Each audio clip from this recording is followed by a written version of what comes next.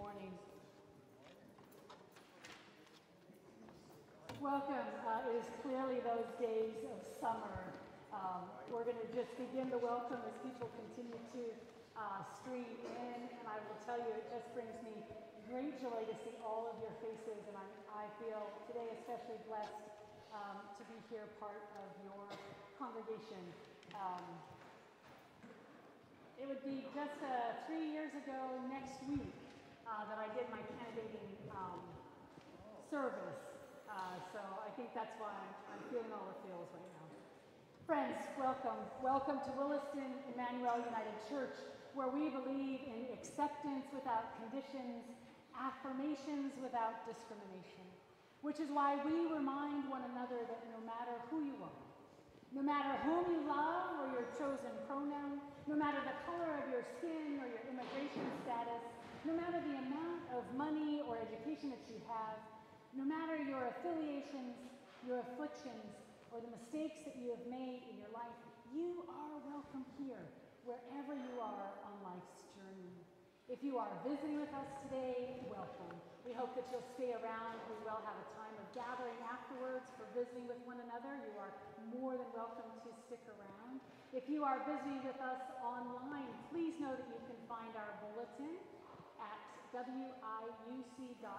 That's our website, and you'll be able to find the bulletin there if you'd like to follow along, and especially if you'd like to sing along with us wherever you are today, uh, you'll want to go there and um, grab that bulletin off, um, off the end. Welcome. Good morning. Um, so, as we continue to just kind of gather ourselves here in this place, let's sing together our new gathering song, We Are Called. And none of us probably know it. We might. If you do know it, especially sing out, but we're just going to um, have it played through maybe one time. One time. Hello, sir. Good morning. Um, and then we'll sing it. Thank you.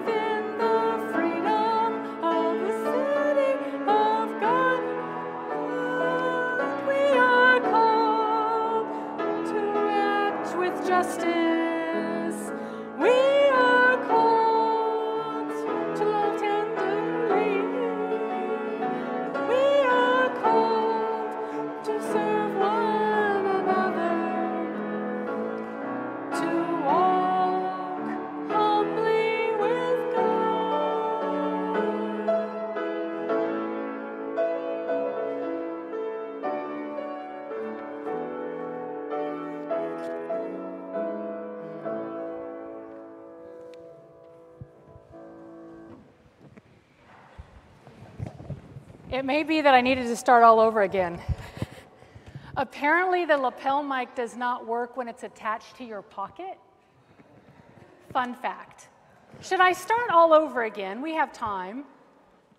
Welcome. You are loved. You are welcome here. I'm so glad to see you.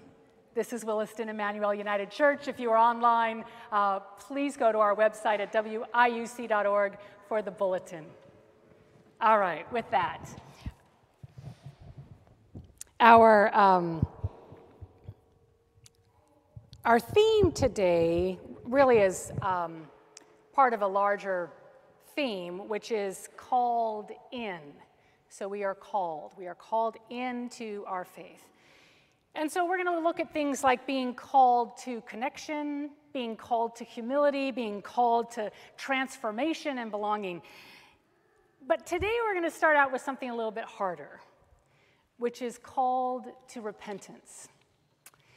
And so, as we kind of even begin shifting a little bit in our seats, perhaps feeling a little bit uncomfortable, possibly, I want you to consider these words uh, by Bruce Wilkinson.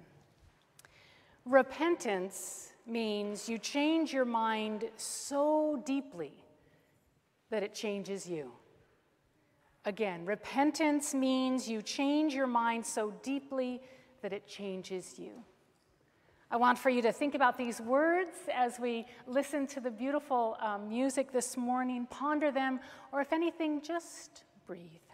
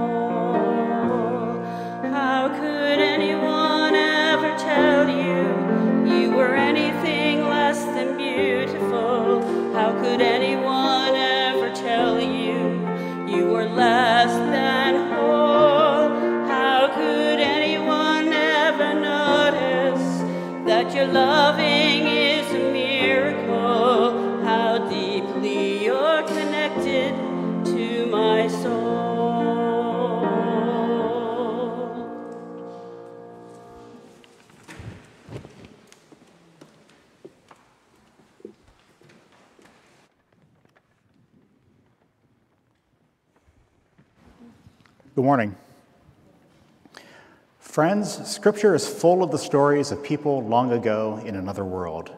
They are people who did not always live righteous lives and who made selfish choices. And as we hear one of these stories this morning, we ask that God gives us ears to listen, eyes to see, hearts to accept that their stories are often our stories as well. Please join me in prayer. Lord, as we enter worship today, May we have the ears to hear, the eyes to see, and hearts to accept that we are not perfect and have made mistakes in our own lives. Remind us that we are called to rend our hearts, not our garments. Help us to return to you, God. We give you thanks that you are gracious and compassionate, slow to anger, and abounding in love. Amen. Let us now join together in our opening hymn, Just as I Am. The lyrics can be found in the bulletin, which is available on our website at wiuc.org.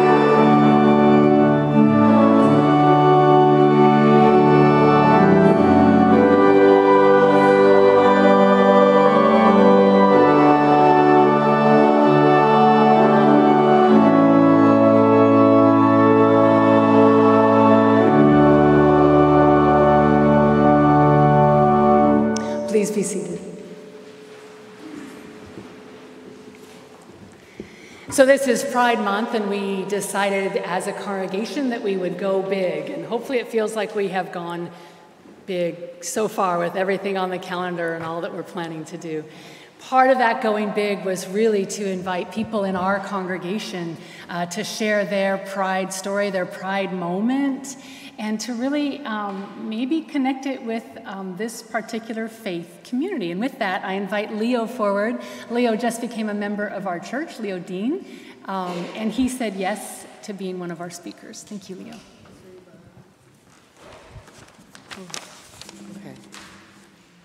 I don't normally like do stuff like this, so anyway.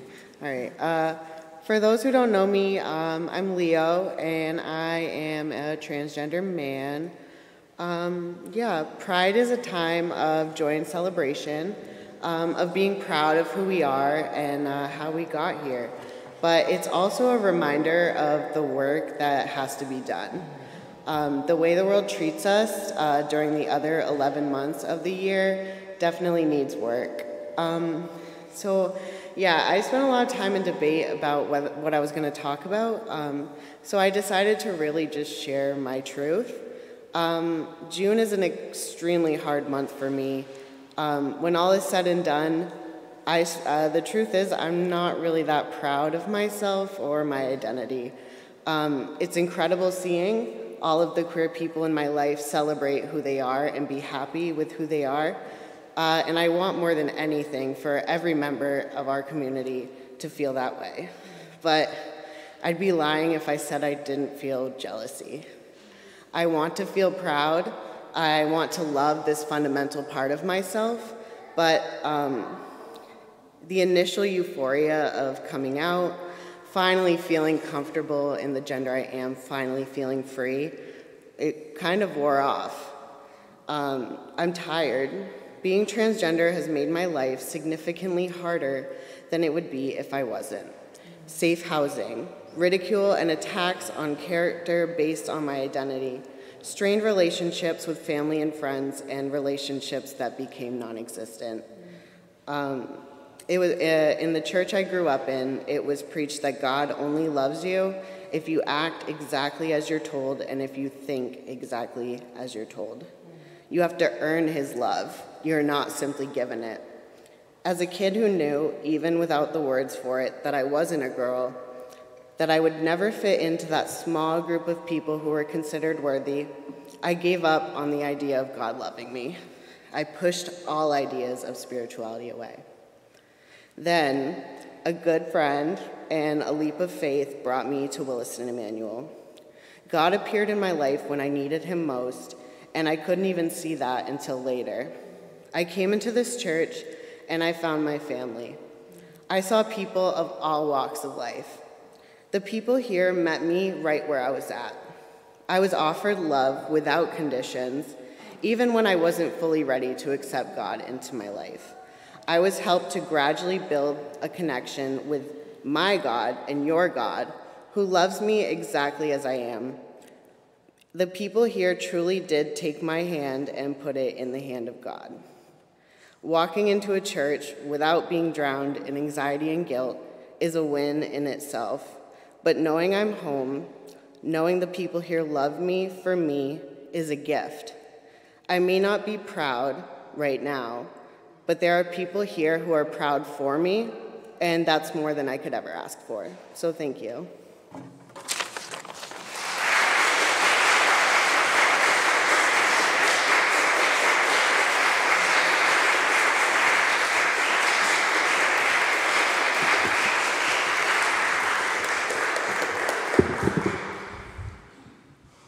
Thank you, Leah.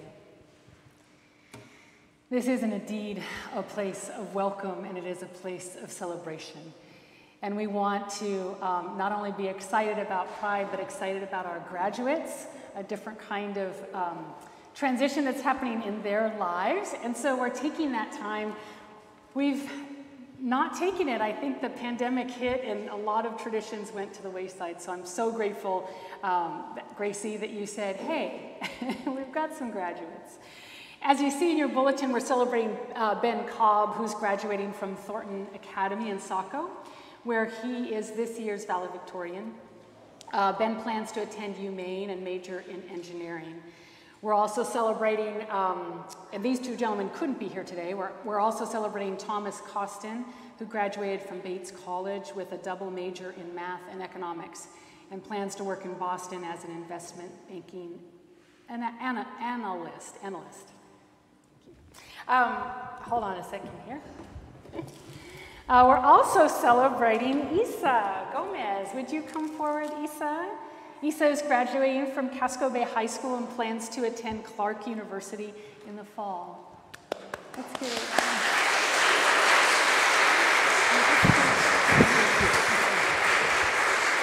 All right, we also have Bonnie. Yay, Bonnie Johnson is graduating from South Portland High School.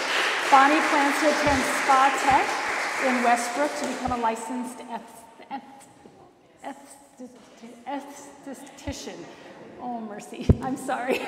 but she's going to do an amazing job. So if you need help in the future, come see Bonnie. This is for you. And you, you may not have realized it that in all of the things that he does, um, Matt was also earning a degree. And Matt, I'd like you to come forward as well. He's graduating from USM with a Bachelor's of Science in Leadership and Organizational Studies with a GPA of oh. 4.0.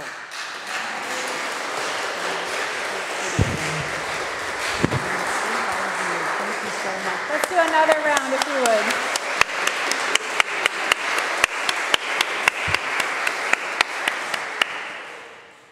Um, so much excitement. I don't know if you were here last week, but we had so much to celebrate last week, and the, the joy and the celebration continues.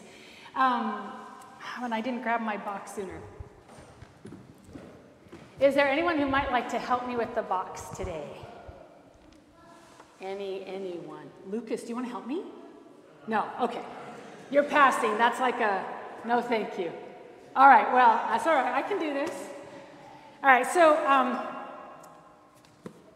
we have a few phrases in here, and, I, and I, I just want to get your opinion on some of these here.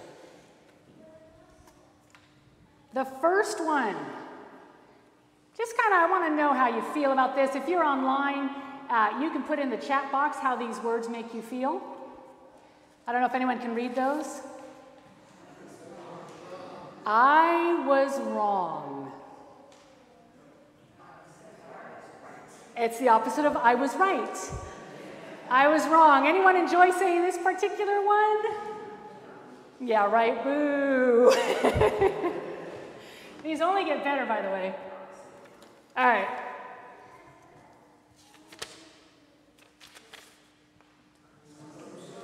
I'm sorry. When we say I'm wrong, this is usually the next best step is to say, I'm, I'm sorry, I'm truly sorry. Yeah. And then,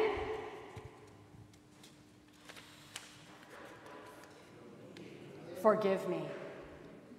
Please forgive me.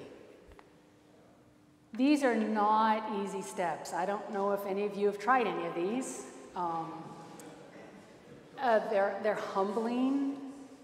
It takes a lot of awareness to realize that we've messed up, that we have somehow hurt someone. It takes a lot of humility to say, I'm sorry, and to forgive me. And then what's the missing? There's one final step. So you've acknowledged you're wrong, you've said you're sorry, you've said, please forgive me. Don't do it again. That's also not easy. Uh, sometimes we're wired to do certain things, and I, uh, I know if my husband was here, he'd go, uh huh. uh, but that's what we're talking about today this exciting thing called repentance, which is really saying, I messed up, I was wrong, I'm sorry, and I'm going to do different. So, with that, let's hear about a man in the Bible who um, was kind of called out. He hadn't quite realized that he had done some, some bad stuff, or at least had not admitted it. And um, Kyle's here to share that story.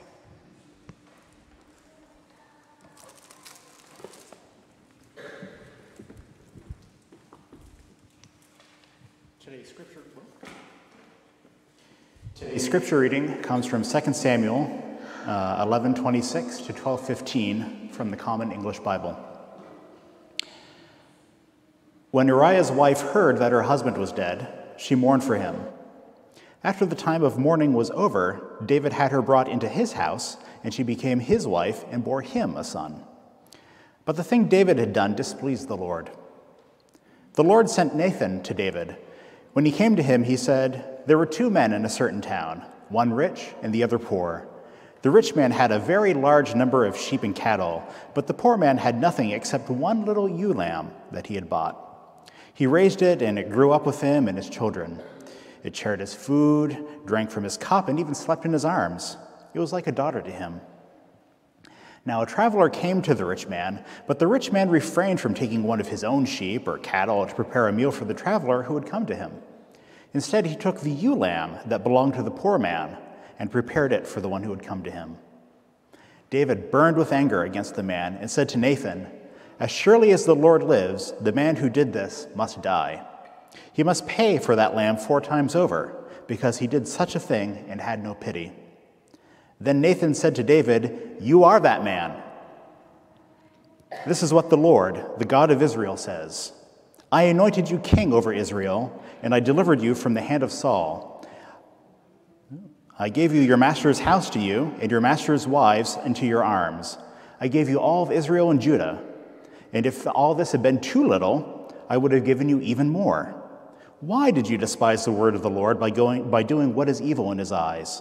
You struck down Uriah the Hittite with the sword and took his wife to be your own. You killed him with the sword of the Ammonites. Now, therefore, the sword will never depart from your house, because you despised me and took the wife of Uriah the Hittite to be your own. This is what the Lord says Out of your own household I am going to bring calamity on you. Before your very eyes I will take your wives and give them to one who is close to you, and he will sleep with your wives in broad daylight. You did it in secret, but I will do this thing in broad daylight before all of Israel. Then David said to Nathan, I have sinned against the Lord. Nathan replied, The Lord has taken away your sin. You are not going to die. But because by doing this you have shown utter contempt for the Lord, the son born to you will die. After Nathan had gone home, the Lord struck the child that Uriah's wife had borne to David, and he became ill.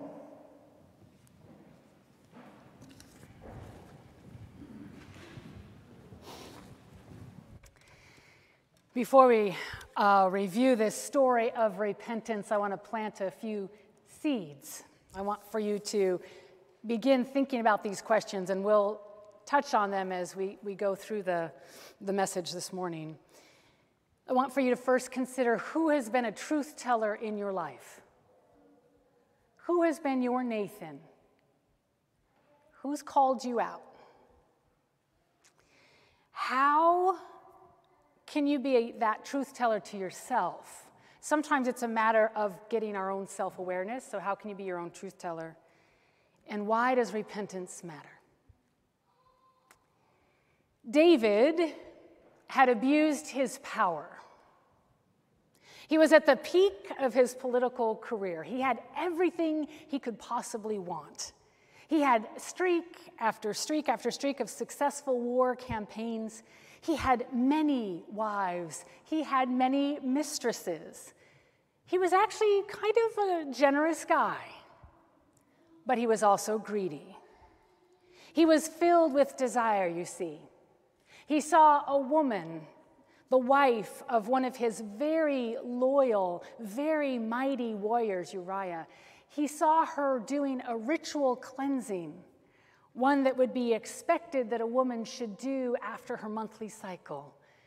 He sees her bathing and sends for her. If Bathsheba lived today, she would have a hashtag me too. For when the king sends for you, when that person in power sends for you and requests certain things of you, you don't really have much say in that there isn't much consent. And when David learned that he had successfully um, caused a baby to be formed in her womb, he decided he'd cover it up. So he sends for Uriah. He says, Oh my gosh, you are such an amazing soldier. I really would like to put you on furlough, you know, give you some time with your wife. And this has probably been done for centuries, hasn't it? Uriah was such a good soldier that he could not bear to see his wife or spend any kind of intimate time with her because his fellow soldiers were fighting. Even after King David got him drunk, he still wouldn't do it. So King David went to the next step. He decided he would have to figure out how to eliminate Uriah, which is what he did on the battlefield. Because of his selfish actions, Bathsheba was sexually assaulted, was once just an only wife and became one of many. Maybe that was a benefit, but maybe it put her at the bottom of the pecking order. She had two significant deaths in less than a year her husband Uriah and an infant son. It is a tragic story of multiple wrongs. And it's kind of easy, perhaps, to see how David would be reluctant to, to really admit that he had done wrong. Very few of us, after all, eagerly admit to wrongdoings. Sometimes we're blind to them. We, we don't even realize that we have harmed someone or uh, injured them, perhaps in some way. Sometimes it's denial. We kind of suspect it, but we don't want to think about it. We could be indifferent. I don't really care about that person. What, what do I care if, if their feelings were hurt? They're a terrible person anyway. Or we might be like David, self righteous or, or conceited. He was the king, he could have whatever he wanted. So God sent the trusted prophet Nathan and tasked him with calling David out to expose him to the truth of his harmful decisions. He had taken Bathsheba and murdered her husband to cover up that first transgression. Nathan is a genius. He uses a parable maybe to soften the king, catch him off guard, which worked, didn't it? David assumed that there was someone who had done this terrible, terrible thing, which in the end was him. Now that brings us to that first question. Nathan was David's truth teller. And I want to know who has been your truth teller. If you're online, it could be something you might want to put in the comment section. You might. Who has that person been? Was it a parent? Your spouse? A teacher or an elder who said, I don't know if that was the right thing you should have done. Maybe it was a stranger. Sometimes God blesses us with strangers that come into our lives and call us out. Sometimes it's the actions of another person. I read a story of a woman who was in recovery for her alcoholism, and she was hearing a story of someone who had been driving drunk, a, a long haul truck driver driving drunk. And initially, she was just appalled that this man would drink and drive. And then she took a little time to reflect on that and realized what? She had done the same thing. Now, for someone like her, it did take some self reflection on her part, some awareness to realize that she could be her own truth teller. And we can when no one else is around. It is possible for us to become self aware of our wrongdoings. But we have to develop a capacity for self examination and, and self awareness to be that personal truth teller. Which leads to the second question how do we become self aware? I think one of the first steps is through prayer, that we ask for that kind of insight from God. Psalm 31, uh, Psalm 139 actually talks about the very end, the psalmist is asking God, um, you know, God, search me. Go ahead, test me, you know, see if everything is right in my heart. And really, that's what we should pray for. We should pray to God to say, God, I want you to show me how to search myself, how to know my own heart, how to test my own thoughts, how to see in myself if there is any wicked way within. I was thinking of the Lord's Prayer. The Lord's Prayer, we ask, forgive us our debts, or some churches say our transgressions, trespasses, our sins. Forgive us as we forgive others. Well, maybe we should first say, Lord, please give us the ability to see what we have done, and then forgive us as we forgive others. We can listen to our bodies we can scan our bodies. And if you've never done that, you kind of start from the top and you think about does my head hurt right now? How does my throat feel? My shoulders, my chest. You work your way down. Especially if we've had an interaction with someone that maybe didn't go over so well. We had a conversation that kind of blew up in our face, or we did something and we're just wanting to check. You might feel tenseness in your in your throat or, or pain chest, chest, chest pain, pain in your chest. Maybe you have a stomach ache. These are opportunities to examine what might also be going on for you. The body does speak, and it might be telling you it's time to think what is it maybe that I have done that was wrong? I think we can also put ourselves in each other's shoes. So if I snap at a clerk you know, I've been waiting in line and I snap at the clerk because I'm just sick and tired and tired of being sick and tired, and I snap at that person. I might take the opportunity to see what's going on on her side of it. You know, are there so many clothing, piles of clothing behind her? It really shows that it's been a busy day. Maybe it wasn't busy while I was there, but maybe there's clues around me that show that she's been having a hard day. And then I realize I'm the one that messed up. And finally, when it comes to how can we be self-aware, we need to make it a habit. A habit of rooting out and IDing the things that we have done that are not right. Within the 12 steps of Alcoholics Anonymous, and the reason I think all of us should live by the 12 steps is that they work into the 12 steps the need to write a list. Write a list of the people you have harmed and then make amends. What was the action or inaction that you did that impacted or harmed another person, or sometimes that has harmed you? That brings us to the third question Why? Why would you want to admit that you'd done anything wrong? Well, because transgressions wrongdoings in many ways means that we have been separated from God and from one another. In the letter known as First John, it says, if we don't love our brother, we don't love God. It's that simple. Which really connects us to Jesus' commandment to love God and to love our neighbors as ourselves. It's all about the love.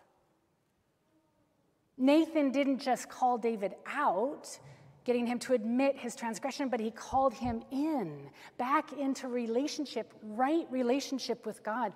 Repentance is just that. It's, it's not an, only an invitation to acknowledge a sin, but to turn back to God and to change your ways. David did that. In 1 King, so it comes after the book that we just read, 2 Samuel comes 1 King.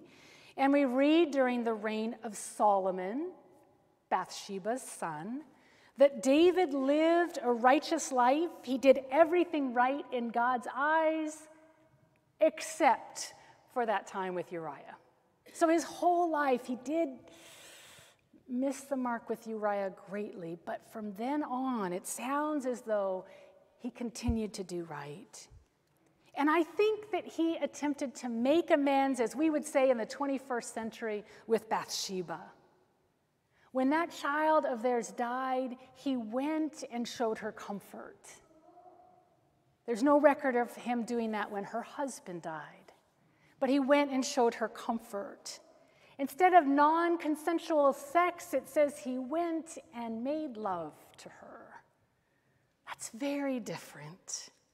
And on his own deathbed, he honors his promise to her that her son would be king, which also secured her own future. Friends, I invite you this week to think about how you are called to repentance. What transgression or wrongdoing have you been a part of? What amends needs to be made? To whom do you need to apologize and make things right? Now, that's not always easy, I know this. I know this. But sometimes it can just happen in the moment. I had a woman come up to me at a, a retreat we were both working on, and she kind of, it seemed out of the blue to me, said, Do I owe you an apology? I said, For what? And she said, I, I came to talk to you just a moment ago, and you were very angry with me. She thought maybe earlier in the weekend that she had somehow offended me. In this case, she was my truth teller that I had snapped unknowingly. So we can do it in the moment. We can just check it out, see if we need to offer an apology. But in some of our lives and in some of the cases and the things that we've done, it takes a lot longer. Some of the amends we make are much harder to do. Why? Because perhaps ne- neglect was involved, or abuse, maybe infidelity, or, or deceit, or maybe just shaming someone else. These are not always easy to admit and not always easy to ask forgiveness for. But we must consider what we can do to make things right. We need to admit to that person our wrongdoings, ask forgiveness, change our behaviors, and try to earn trust. We are called, after all, to imitate God, to imitate Jesus, loving and forgiving as they are. We are called as Christians to do. Um, we are called as Christians to be a new creation, right? We're called to leave all the old stuff behind. This is an ongoing process. But that's what it means to be a Christian. Always moving into that new creation. And the question would be is it worth it? And my answer would be absolutely. Amen. And so may it be.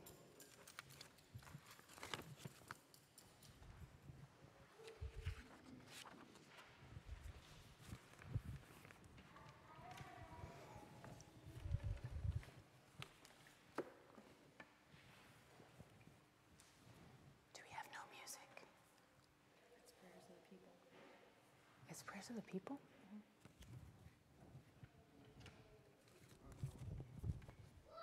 Hmm. So, you know, nothing like having a different uh, script than the old uh, bulletin there. Uh, how about some prayer? Looks like maybe we're doing prayer right now. All right.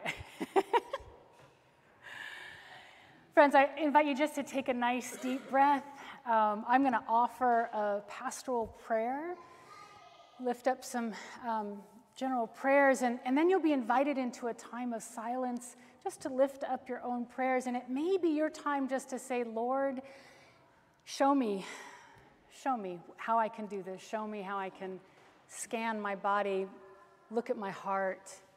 Um, help me, help me to see my wrongdoings. Let's pray. Most Holy God, we uh, might come kicking and screaming into this process. It is so not easy to admit we were wrong. It's so easy to say, yes, but. I did this, but there was good reasons. I did this, but I, I, um, I was in the right, not in the wrong. Lord, help us to really, truly look at our lives and understand that, yes, perhaps indeed, we have caused harm to another. Perhaps, yes, indeed, we have caused harm even to ourselves. And Give us the courage to do what is right, to pray, to acknowledge our wrongdoings, and to ask for forgiveness. And indeed, it's so easy to look upon this world and consider ourselves so right. Oh, we see so much brokenness in the world. Help us to be compassionate. Help us to be compassionate when we hear about people that might have been planning an attack on a pride parade in Idaho. Be with us as we try to talk with family and friends about political things that we disagree on. Help us to find ways to talk with each other, not at each other. Help us to trust in you that you are moving in this world, that you are somehow making your peace known in places that seem so absent of it. We continue to pray for the people of Ukraine and the people of so many war torn nations. May those places not only experience your peace, but help it to shine in other places of the world as well. We ask your blessings upon the Pride Parade that is coming up. We pray that there are people who just never knew that communities could be so welcoming. We ask that you bless people who are working at coming out, who are working at feeling proud of who they are. May your hand be upon them and bless them and help them to find community. We thank you for graduates, for all, whether it's kindergarten or uh, a doctoral student and everyone in between, those here in our church today and those a part of our church family. Blessings upon blessings as they move into the next stage of life. May you just continue to be their guide and their presence in all that they do. Be with us, Lord, each and every day. Keep our eyes and our hearts open to your presence wherever you may be. Be with us in this moment as we spend this time in silence for our own personal prayers.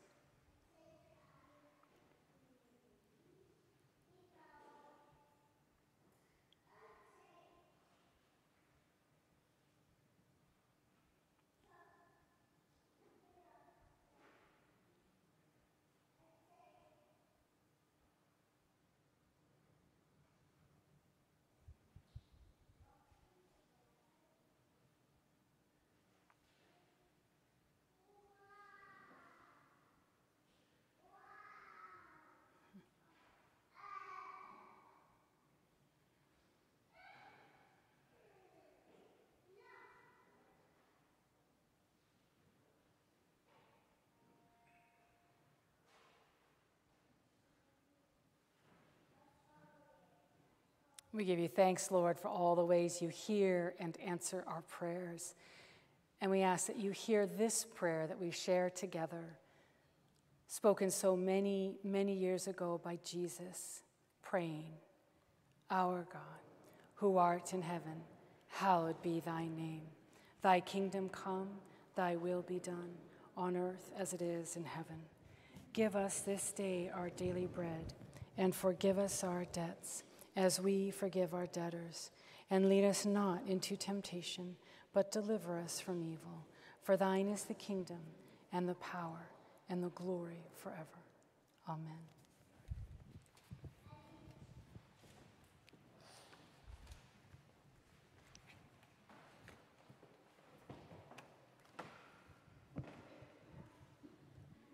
We believe in the God of justice and righteousness.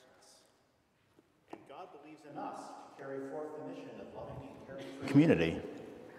Let us now share our gifts and resources so that we may continue to walk humbly with God and with neighbors. If you are participating in worship online or prefer electronic giving, you are welcome to visit our website, wiuc.org, to donate. Look for the Support Our Ministry button. Thank you for your generosity. We will now receive the offering.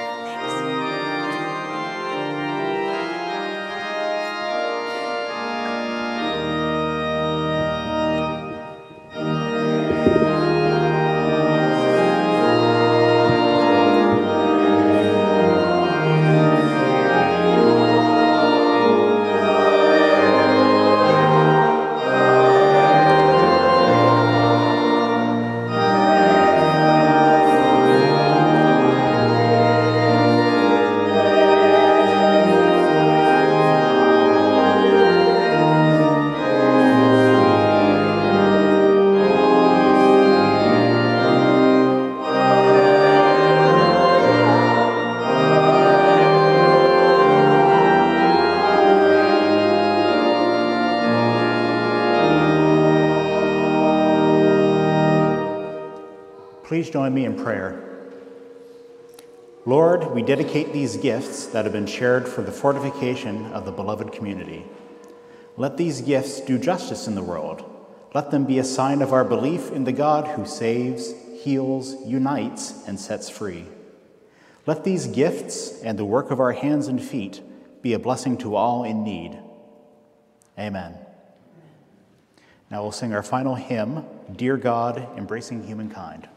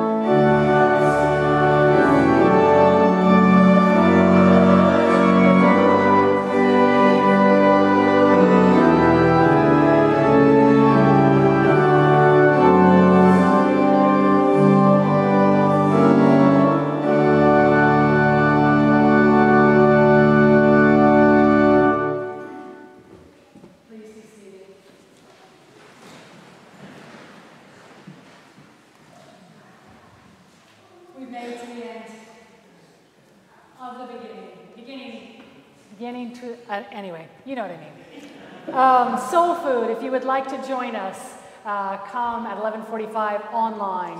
Um, I do stay here, so if you want to join me here, otherwise you can head home and go to our website and just sign right on to the, um, it's fellowship and um, soul food. So if you want to come online, join us.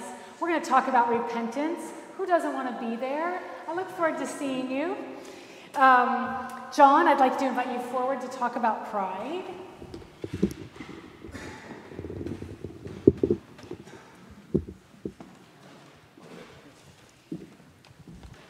It's a package plan. You get John, you get me. Uh, As uh, all of you are certainly aware by now, this is Pride Week. And uh, this coming Saturday is the uh, Pride and the festival. Uh, For those of you that don't know us, which I'm sure is not that many of you, but my name is Keith, this is John, my partner. He is our Fearless uh, Parade organizer, and he's, he's here to tell you more about the parade as well as the festival. So take it away. Thank you. First thing I want to tell you is usually I have a nervous nature. So weather, No. weather is my priority for pride.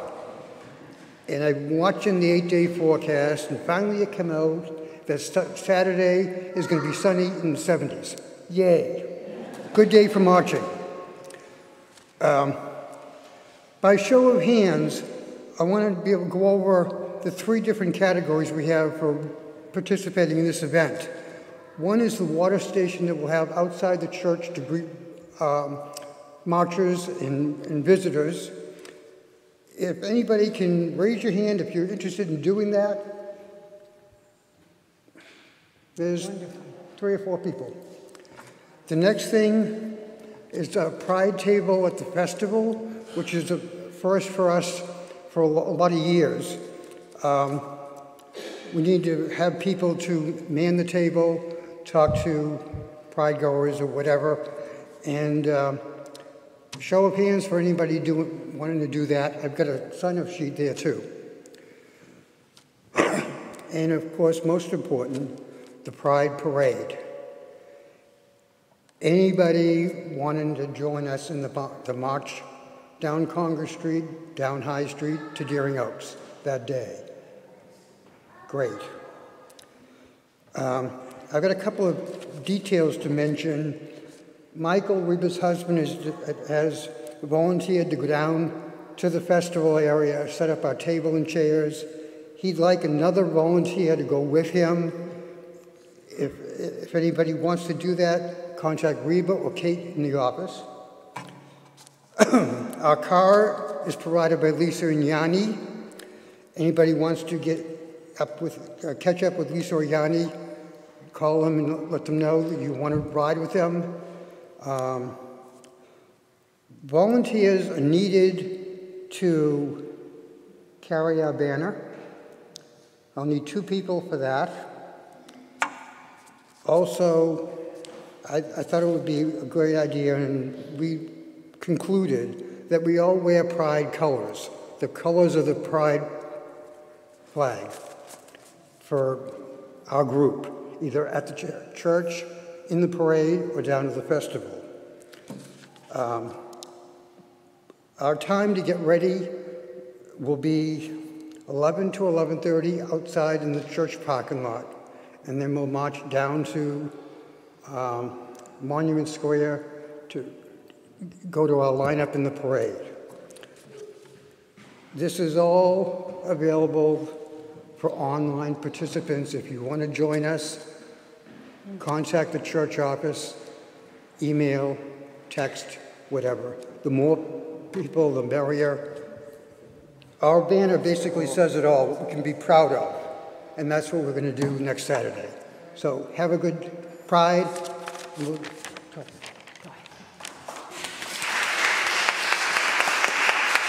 Thank you. John is our pride.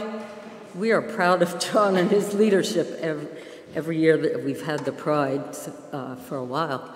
Thank you. So um, I'm organizing the booth that we're going to have at the festival. I say booth, it's a not a booth, but anyway. First of all, we are looking for a pop up canopy. You know those white little tent things that people have? Um, 10 by 10 or 11 by 11. If anybody has one, please. Oh, Liz, thank you. Okay, great. We'll talk. And uh, what we're going to do at the festival, I just want to let you know, we're not just going to have a table. We are going to have um, a prayer booth. We're going to have uh, special tattoos, uh, you know, non permanent uh, tattoos for the. We're not going to be tattooing things. Uh, we're going to have those little temporary tattoos that you stick on for kids or for adults. Um, we're going to have welcome packets for our church, information about our church. We're going to have kind of a prayer station where people can write prayers on cloth strips. They're going to be hung up uh, as they write them on strings, um, you know, between the tent legs. And then they're going to be made into a quilt by none other than our Pastor Reba. She's going to make them into a quilt, and we're going to raffle off that quilt.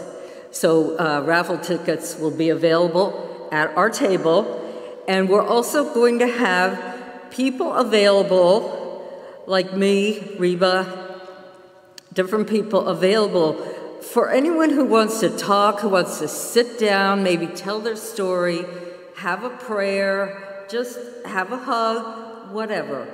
You know, um, I don't know if other churches are going to be represented there, but I, we're going to have a strong presence in the park uh, this year. Thank you for everyone who is going to participate. Thank you. Thank you. Um, the other thing that's happening this week for Pride, and I hope that you'll spread the word. It could be that we're advertising to all of the people who say, um, in some ways, we need to share this film with folks who might not yet be to the place where they're celebrating Pride. So this is a film. It's called Mama Bears. It's film. It's showing in our chapel Friday night at seven. And it's a documentary that will be aired on PBS in 2023, so this is a screening of it. And it, it's um, based on the lives of four women, two women um, who uh, raised in or belonged to a very conservative Christian tradition that really told them that um, to be gay was absolutely a wrong thing. And then they had a child come out. And it's their work to realize that they need to love their child and maybe come to a different understanding of their religion. And then the other two women are two um, lesbian women, and maybe their stories um, as well of, of Actually, this part I don't know. I'm making this up. We'll see if I'm right. But their perhaps interactions with their churches and feeling welcome. So I encourage you, um, especially if you do have people in your lives who just aren't so sure, sure about what the Bible says and what you all are celebrating, um, send them our way. Seven o'clock. It is free. If there's enough interest, uh, we do have the capabilities of showing it online at a later date.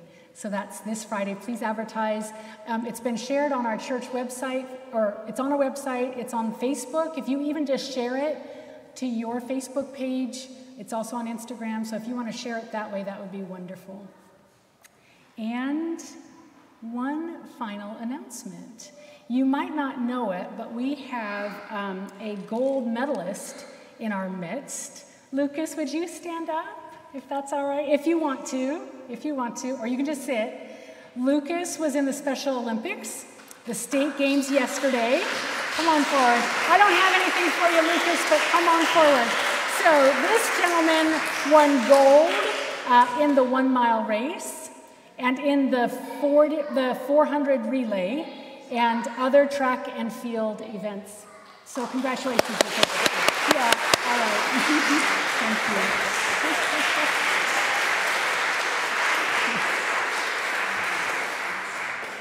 Friends, may you know that you are a beloved child of God. May you be called into the, the act of repentance And may you, in the process, find deep peace and deeper connection. Go in peace. Amen.